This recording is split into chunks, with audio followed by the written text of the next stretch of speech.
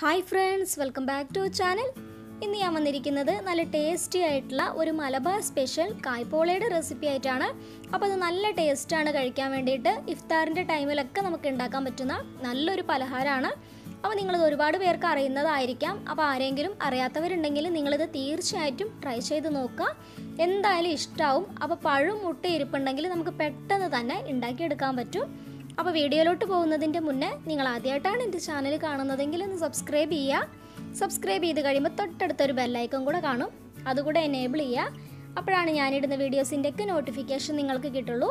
അപ്പോൾ നമുക്ക് easy and tasty ആയിട്ടുള്ള ഈ കായ്പോള എങ്ങനെയാണ് ഉണ്ടാക്കുന്നതെന്ന് നോക്കിയിട്ട് വന്നാലോ. അപ്പോൾ നമ്മുടെ കായ്പോള ഉണ്ടാക്കുന്നതിന് വേണ്ടിയിട്ട് ഞാനിവിടെ മീഡിയം സൈസിലുള്ള രണ്ട് നേന്ത്രപ്പഴമാണ് എടുത്തിരിക്കുന്നത്.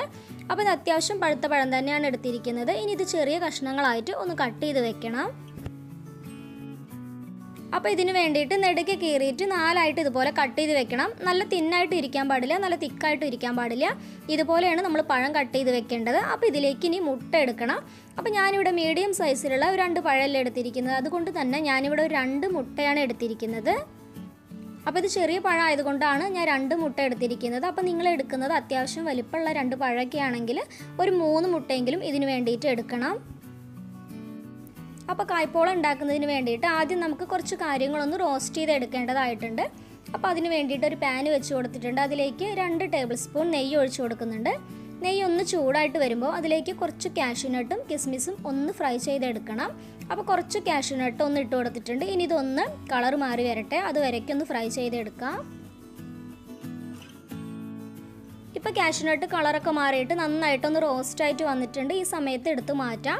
ഇനി ഇതിലേക്ക് കിസ്മിസും കൂടെ ഇട്ടിട്ട് ഒന്ന് റോസ്റ്റ് ചെയ്തെടുക്കണം. അപ്പോൾ നിങ്ങൾക്ക് കാഷ്യൂനട്ടും കിസ്മിസൊക്കെ എത്രത്തോളം വേണോ ടേസ്റ്റിന് അതിനനുസരിച്ചിട്ട് ചേർത്ത് കൊടുക്കാവുന്നതാണ്.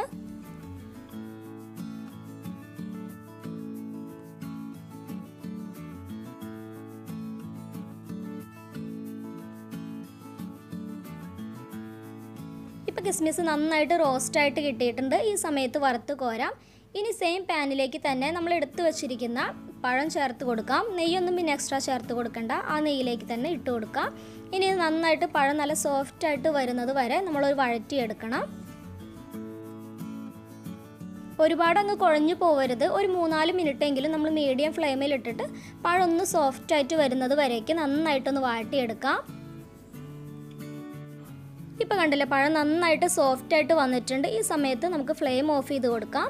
ഇനി നമുക്ക് ഇതിലേക്ക് വേണ്ട മുട്ടയൊക്കെ ഒന്ന് മിക്സ് ചെയ്തെടുക്കണം. അപ്പോൾ മിക്സിയുടെ ജാറിലേക്ക് നേരത്തെ എടുത്ത് വെച്ചിരിക്കുന്ന രണ്ട് മുട്ട ചേർത്ത് കൊടുക്കുന്നുണ്ട്. അപ്പോൾ ചെറിയ പഴം എടുത്തത് കൊണ്ടാണ് ഞാൻ നേരത്തെ പറഞ്ഞ പോലെ രണ്ട് മുട്ട ചേർത്ത് കൊടുക്കുന്നത്. അപ്പോൾ നിങ്ങൾ കൂടുതൽ എമൗണ്ട് ഒക്കെ ആണെങ്കിൽ മുട്ടയുടെ അളവ് കൂട്ടി കൊടുക്കണം ഇനി ഇതിലേക്ക് ആവശ്യത്തിന് പഞ്ചസാര ചേർത്ത് കൊടുക്കാം. ഞാനിവിടെ ഒരു രണ്ട് ടേബിൾ സ്പൂൺ പഞ്ചസാരയാണ് ചേർത്ത് കൊടുക്കുന്നത്. പഴത്തിന് അത്യാവശ്യത്തിന് മധുരമുള്ളത് കൊണ്ട് തന്നെ അത്ര ചേർത്ത് കൊടുക്കുന്നുള്ളൂ.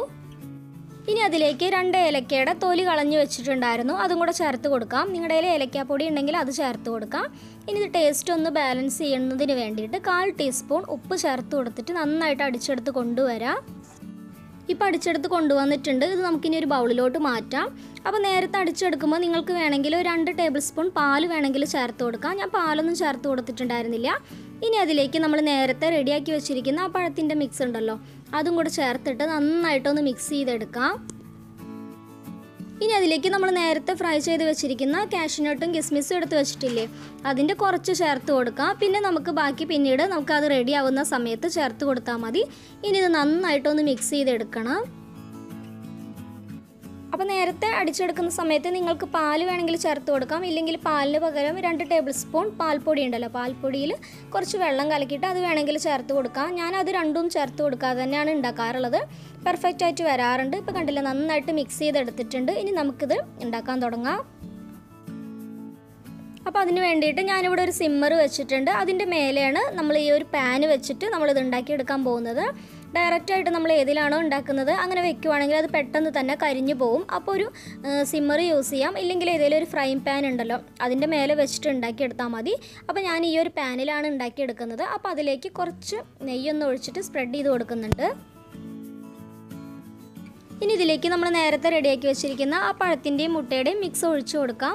അപ്പോൾ നോൺ സ്റ്റിക്ക് പാനിൽ ഇതുപോലെ ഉണ്ടാക്കിയെടുക്കുന്നതായിരിക്കും എപ്പോഴും നല്ലത്. അപ്പോൾ നമുക്ക് അടി പിടിക്കാതെ കറക്റ്റായിട്ട് കിട്ടും. എന്നാലും നമ്മളൊന്ന് നെയ് സ്പ്രെഡ് ചെയ്ത് കൊടുക്കുന്നത് നന്നായിരിക്കും. കുറച്ച് ടേസ്റ്റിനും ഒക്കെ നല്ലതായിരിക്കും.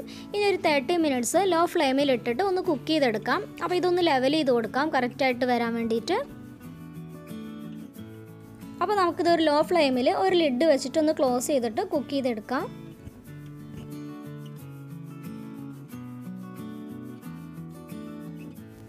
അപ്പോൾ ഒരു ടെൻ മിനിറ്റ്സ് കഴിഞ്ഞിട്ടുണ്ട്. കണ്ടില്ല? ചെറുതായിട്ടൊന്ന് കുക്കായിട്ട് വന്നു തുടങ്ങി. ഈ സമയത്ത് നമ്മൾ നേരത്തെ എടുത്ത് വെച്ചിരിക്കുന്ന ആ ബാലൻസ് ക്യാഷ്നട്ടും കിസ്മിസും ഉണ്ടല്ലോ അതും കൂടെ ചേർത്ത് കൊടുക്കാം. അപ്പോൾ നമ്മളിത് ഫസ്റ്റ് അതിലേക്ക് ഇട്ട് കൊടുക്കുവാണെങ്കിൽ അത് അങ്ങോട്ട് താണു പോവും. അതുകൊണ്ടാണ് നമ്മളിതൊന്ന് കുക്കായതിനു ശേഷം ഇതിലേക്ക് ഇട്ട് കൊടുക്കുന്നത്. ഇനി നമ്മൾ ടോട്ടൽ തേർട്ടി മിനിറ്റ്സ് അല്ല? ബാക്കി ഒരു ട്വന്റി മിനിറ്റ്സും കൂടെ ഒന്ന് നന്നായിട്ടൊന്ന് ലോ ഫ്ലെയിമിലിട്ട് കുക്ക് ചെയ്തെടുക്കാം. ഇപ്പോൾ ഇവിടെ തേർട്ടി മിനിറ്റ്സ് ആയിട്ടുണ്ട്. ഞാനിവിടെ ഓപ്പൺ ചെയ്ത് നോക്കിയിട്ടുണ്ട്. ഇനി നമ്മളിതൊരു നൈഫോ ഇതുപോലെ ഏതെങ്കിലും ടൂത്ത് പിക്കോ എന്തെങ്കിലും വെച്ചിട്ട് നോക്കുവാണെങ്കിൽ നല്ല ക്ലിയർ ആയിട്ട് വരുവാണെങ്കിൽ അത് കുക്കായിട്ടുണ്ട് എന്നാണ് അർത്ഥം. കണ്ടില്ല? നല്ല സൂപ്പറായിട്ട് നല്ല അടിപൊളിയായിട്ട് പെർഫെക്റ്റ് ആയിട്ട് നമുക്ക് കുക്കായിട്ട് കിട്ടിയിട്ടുണ്ട്. ഇനി നമുക്ക് ചൂടാറിയതിന് ശേഷം ഇതൊരു പ്ലേറ്റിലോട്ട് മാറ്റാം. അപ്പോൾ നിങ്ങൾക്ക് ഈ ഒരു സൈഡ് ഭാഗം കുക്കായിട്ടില്ല എന്നുണ്ടെങ്കിൽ ഒന്ന് തിരിച്ചിട്ടിട്ടും കൂടെ ഒരു പാനിലിട്ടിട്ട് ഈ ഒരു സൈഡ് കൂടെ കുക്ക് ചെയ്തെടുക്കാം. ഇവിടെ ഇപ്പോൾ എനിക്ക് രണ്ട് സൈഡും നന്നായിട്ട് കുക്കായിട്ട് വന്നിട്ടുണ്ട്. അപ്പോൾ നമുക്ക് പെട്ടെന്ന് തന്നെ ചൂടാറിയതുപോലെ വിട്ട് വരും. അപ്പോൾ വിട്ട് വരാൻ ബുദ്ധിമുട്ടാണെങ്കിൽ ഇതുപോലെ ഒരു നൈഫ് വെച്ചിട്ട് ഒന്ന് വിടുവിച്ച് കൊടുത്താൽ മതി.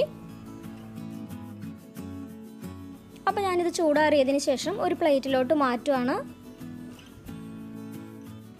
കണ്ടില്ലേ? പെർഫെക്റ്റ് ആയിട്ട് തന്നെ വന്നിട്ടുണ്ട്. നമ്മൾ അടിഭാഗം കണ്ടില്ലേ? കരിഞ്ഞിട്ടൊന്നുമില്ല. ഇതുപോലെ തന്നെയാണ് ഇരിക്കുക. ഇനി നമുക്ക് അപ്പുറത്തെ സൈഡും കൂടെ തിരിച്ചിട്ടൊന്ന് കാണിക്കാം. അപ്പോൾ പാനിൽ നിന്ന് ചൂടാറിയതിന് ശേഷം മാത്രം പ്ലേറ്റിലോട്ട് മാറ്റുക. അല്ലെങ്കിൽ പൊട്ടിപ്പോവാൻ ചാൻസ് ഉണ്ട്. കണ്ടില്ലേ? നമ്മുടെ അടിപൊളിയായിട്ടുള്ള ടേസ്റ്റി ആയിട്ടുള്ള നമ്മുടെ മലബാർ സ്പെഷ്യൽ കായ്പോള ഇവിടെ റെഡി ആയിട്ടുണ്ട്.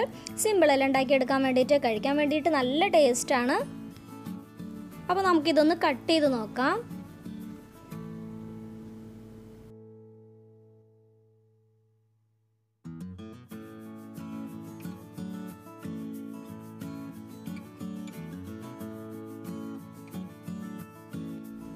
കണ്ടില്ലേ? അപ്പോൾ സൂപ്പറായിട്ട് വന്നിട്ടുണ്ട് നമ്മുടെ കായ്പോള അപ്പോൾ കഴിക്കാൻ വേണ്ടിയിട്ട് നല്ല ടേസ്റ്റ് ആയിരുന്നു. ഞാൻ രണ്ട് മുട്ടയല്ലേ ചേർത്തിട്ടുണ്ടായിരുന്നുള്ളൂ. അപ്പോൾ മുട്ടയുടെ ചൊയൊന്നും അധികമില്ല അപ്പോൾ നിങ്ങൾക്ക് മുട്ടയ്ക്ക് കൂടുതൽ ഇഷ്ടമാണെങ്കിൽ ഒരു മൂന്ന് മുട്ട വരെ ചേർത്ത് കൊടുക്കാം. എനിക്കിതിവിടെ കറക്റ്റ് ആയിട്ടുണ്ടായിരുന്നു.